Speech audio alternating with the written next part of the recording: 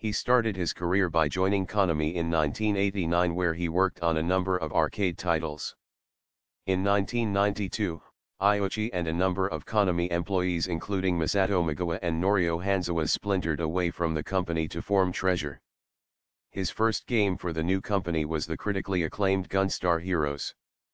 In 1995, Iuchi left Treasure to join Time Warner Interactive but soon left due to disagreements with the company's business practices.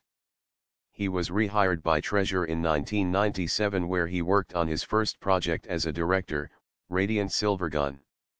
Despite a new string of successes including Ikaruga and Gradius V, Iuchi once again left Treasure in 2006.